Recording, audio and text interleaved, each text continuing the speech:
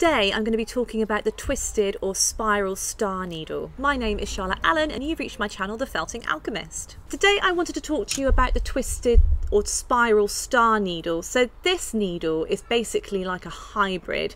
It's the best of both worlds of the twisted needle and also the star needle which I'll cover in another video. So the star element of this needle is that rather than having three sides like you would with the triangular needle you've actually got four sides so it really speeds up your felting power when you've got the four sides and the barbs running down all four of those sides in addition to that, you've also got the twisted element as well. So you've got that spiral to the shaft of your needle, and then you've got those barbs going again all the way down to the very end, once again making it a really quick felter, but also really good for not leaving much of an indentation. So this needle is brilliant. I really like using it. The only downside, if it's a downside, is that it only comes in one size, or certainly I've only ever been able to find it in one size. And it's a medium needle, so it's going to be a 38 gauge. But I don't find it's too much of an issue because it's a really good all-rounder and I love using it together in my needle felting pen with sort of two or three together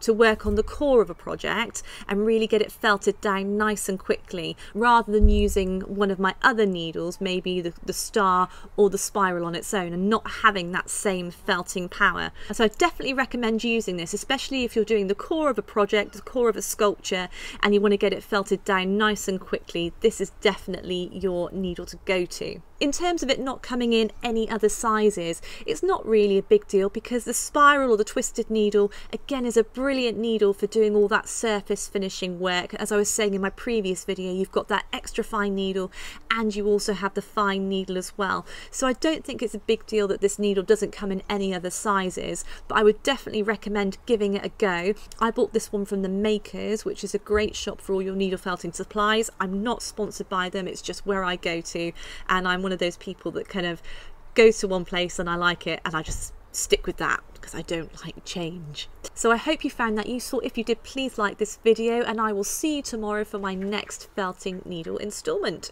See you then. Bye.